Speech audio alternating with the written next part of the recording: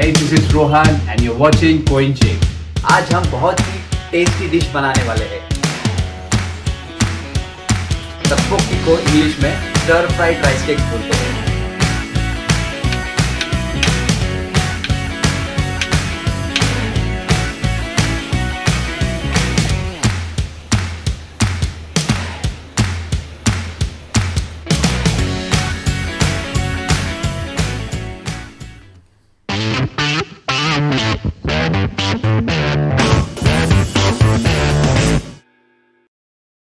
हाय नमस्ते अन्योंगासेयो friends and welcome back to my channel को इन शेक आज हम बहुत ही टेस्टी डिश बनाने वाले हैं। ये मेरा पर्सनली फेवरेट है, और इस डिश का नाम है तक्पोकी यस तक्पोकी को इंग्लिश में स्टर फ्राइड राइस केक्स बोलते हैं। ये एक कोरिया का स्ट्रीट फ़ूड है and being a street food is really very healthy इस रेसिपी में हम राइस केक वेजिटेबल्स और कोरिया का एक स्पेशल चिली पेस्ट आता है, जिसे कोचुजांग कहते हैं। ये सारी चीज़ें हम इसमें ऐड करने वाले हैं।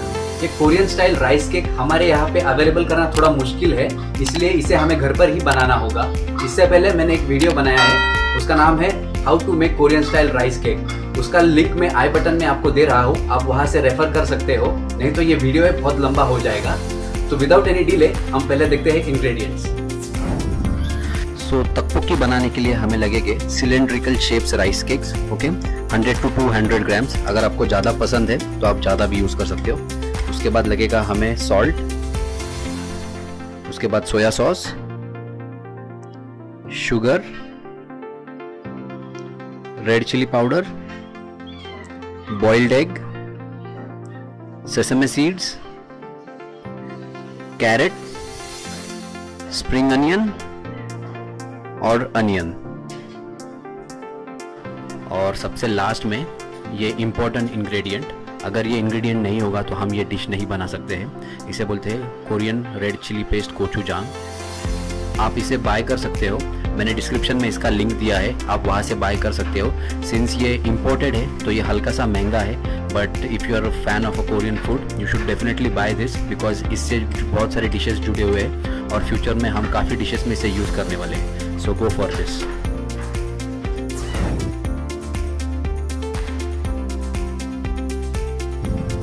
Let's chop the vegetables and cut the vegetables in similar pattern.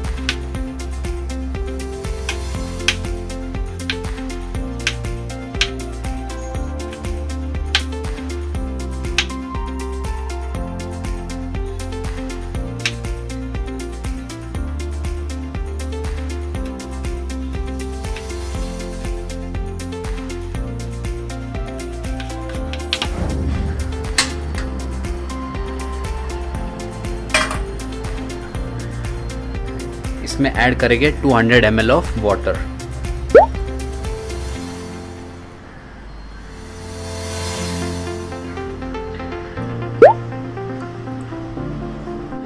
इसमें ऐड करेंगे हम one teaspoon salt one tablespoon sugar any sugar white sugar brown sugar इसके बाद ऐड करेंगे हम two tablespoon Korean chilli paste gochujang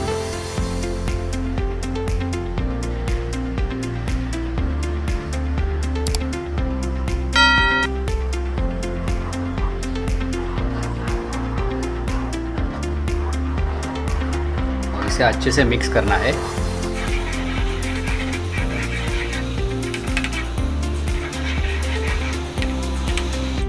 और अब add करेंगे one tablespoon soya sauce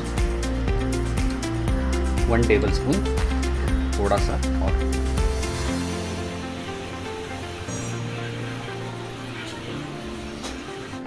one teaspoon red chilli powder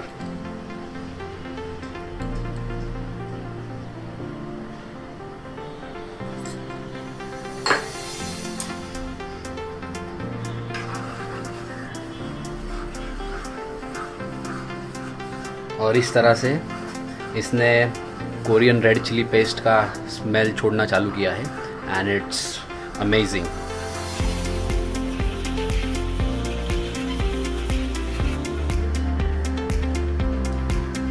तो ये पानी उबलने तक रुकना है हमें। जैसे ही हल्का सा उबलना चालू हो जाए, हम इसमें ऐड करेंगे rice cakes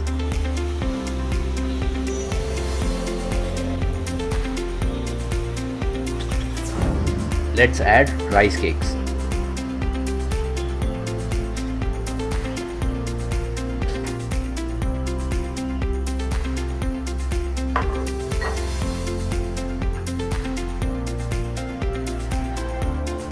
medium heat पे इसे पकाना है।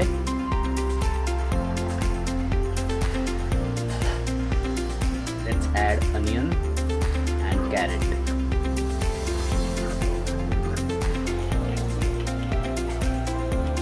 अभी बस इसे जब तक ये ग्रेवी थिक नहीं होती, तब तक हमें इसे पकाते रहना है।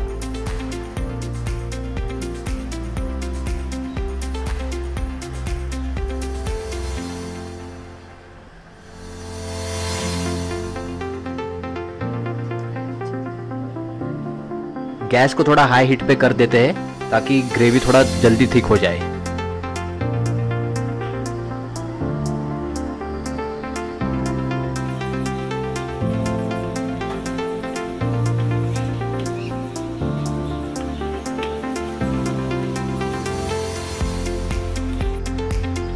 अमेजिंग टेक्सचर इसका कलर बहुत ही बढ़िया आया है। And it's looking very nice you can see this rice cakes कैसे लग रहे हैं। ये बहुत ही चुई और मज़ेदार होते हैं। खाने में बहुत ही मज़ा आता है।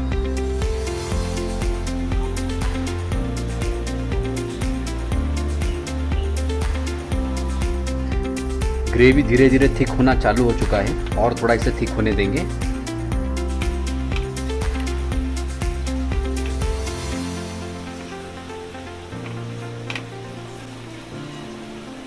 आप देख सकते हो ये ग्रेवी कितनी थिक बनी है। अब ये पूरी तरह से रेडी है।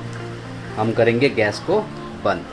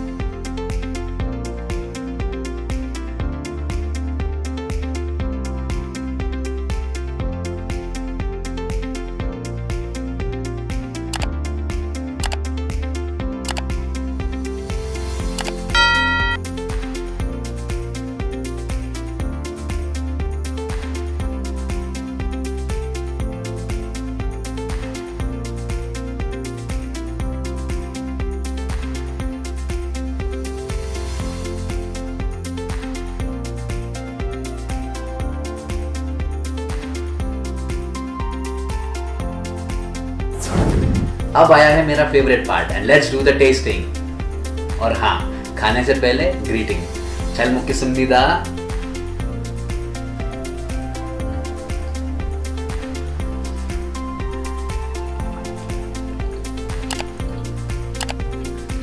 एकदम कोरिया की याद आ गई मुझे। मैं कोरिया में जब स्ट्रीट्स पे वीकेंड पे घूमता था तो मैं ये वहाँ पे बहुत खाता था तक्को की।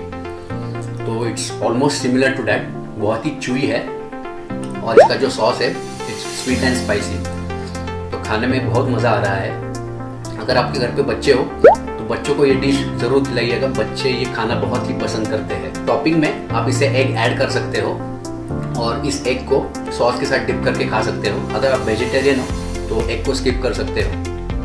But if you are not vegetarian please go for boiled egg it's very yummy